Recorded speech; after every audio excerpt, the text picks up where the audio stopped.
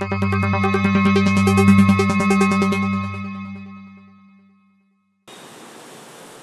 ghi nhận của phóng viên, tại gầm cầu vượt Mai Dịch, quận Cầu Giấy, vẫn có đến hàng trăm ô tô xe máy được gửi tại đây.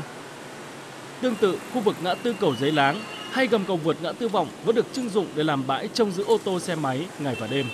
Tại khu vực gầm cầu Vĩnh Tuy, số lượng ô tô được trông coi tại đây cả ngày lẫn đêm tới hàng chục, thậm chí có lúc tới hàng trăm chiếc xe.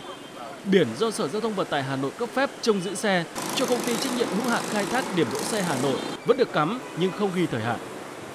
Chỉ đạo thì thành phố cũng đã giao đấy giao cùng với cả Sở Giao thông Vận tải cùng với cả uh, các phòng ban của quận Hai Bà Trưng cũng như là với Ủy ban nhân phường Vĩnh Tuy thì là uh, kiểm tra cái tình trạng hoạt động của bãi xe dưới gầm cầu Vĩnh Tuy để tổng hợp báo cáo với thành phố để xem xét có có việc uh, cấp phép tiếp hay không cấp phép thì đây là uh, Ủy ban thành phố sẽ, sẽ tiếp tục xem xét.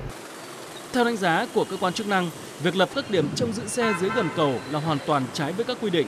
bởi vậy, việc xử lý các bãi trông giữ xe chiếm dụng gầm cầu là cần thiết. Tuy nhiên có một thực tế là việc dẹp bỏ các điểm đỗ xe dưới gầm cầu gặp nhiều khó khăn. Bởi Hà Nội thiếu điểm đỗ xe trầm trọng, trung bình mỗi quận chỉ đáp ứng được từ 8 đến 10%. Đối với đặc thù là quận Hai Bà Trưng là phố nhỏ, ngõ nhỏ và hè phố lòng đường mặt cắt rất là nhỏ. Nên là cái nhu cầu thì lại rất là lớn và hiện giờ thì uh, trên địa bàn hai Bà Trưng là chúng tôi có bốn cái cái điểm mà bốn cái dự án ấy là chuẩn bị triển khai cái uh, bãi đỗ xe ngầm tuy nhiên thì cái tiến độ triển khai nó còn chậm với nhiều cái lý do. Thành phố Hà Nội hiện có 13 điểm trông giữ xe dưới gầm cầu, trong đó có 9 điểm được cấp giấy phép tạm thời trông giữ và 4 điểm không có giấy phép trông giữ. Trước những áp lực lớn của việc thiếu các điểm đỗ xe tại các quận, có lẽ Hà Nội sớm có những giải pháp để giải tỏa các điểm trông giữ giữa gầm cầu theo đúng quy định của thông tư 35. Kiến nghị đề xuất với lại à, thành phố nhanh chóng khẩn trương là phê duyệt các cái điểm mà à, giao thông tĩnh cũng như là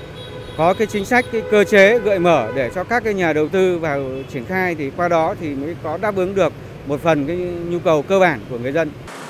Theo quy hoạch về mạng lưới các điểm đỗ xe, bãi đỗ xe trên địa bàn thành phố đến năm 2020, Hà Nội sẽ dành tổng quỹ đất cho giao thông tỉnh là 796,82 ha. Tuy nhiên đến nay, theo Sở Giao thông Vận tải Hà Nội mới bố trí được khoảng 91,16 ha, chiếm 0,21% đất xây dựng đô thị. Bởi vậy, thành phố đang rơi vào cảnh thiếu điểm bãi đỗ xe tính nghiêm trọng. Đây chính là những lý do khiến các bãi xe dưới gầm cầu vẫn tồn tại cho đến bây giờ.